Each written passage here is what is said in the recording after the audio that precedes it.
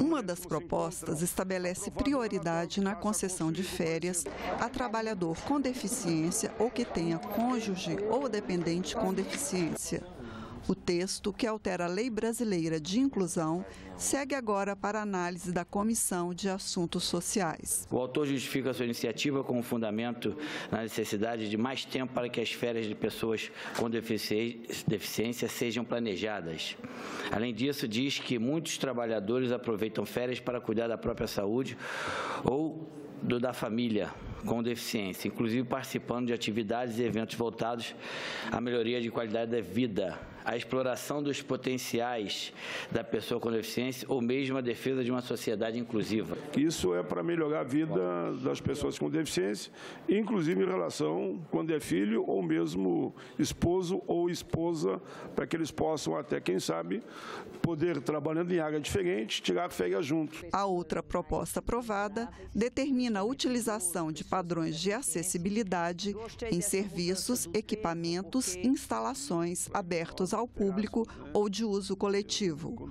O projeto altera o Estatuto da cidade e terá que ser votado agora na Comissão de Desenvolvimento Regional e Turismo. Dirige-se à concepção e à implementação de projetos que tratem do meio físico, de transporte, de informação e comunicação, inclusive de sistemas e tecnologia de informação e comunicação e de outros serviços equipamentos e instalações abertos ao público, de uso público ou privado ou de uso coletivo, tanto na zona urbana como na, na zona rural. E foram aprovados dois requerimentos de audiência pública, uma sobre a CPI da Previdência e a reforma da Previdência e outra para debater os impactos dos jogos eletrônicos em crianças e adolescentes. Esses joguinhos de, de computador, de, de celular, que estimulam a violência.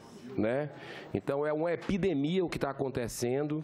Nós tivemos aquela tragédia há 15 dias atrás na, lá na, na escola em Suzano, onde a gente viu um pouco é, da, do impacto que isso causa também. É, um, é um, um, efeito potencializador, é a cultura da violência em ação. Isso movimenta a senadora Zenaide e demais senadores aqui presentes é, bilhões de dólares, né, esses jogos, que não têm controle, que não tem regulamentação com relação à compra, à idade para a utilização.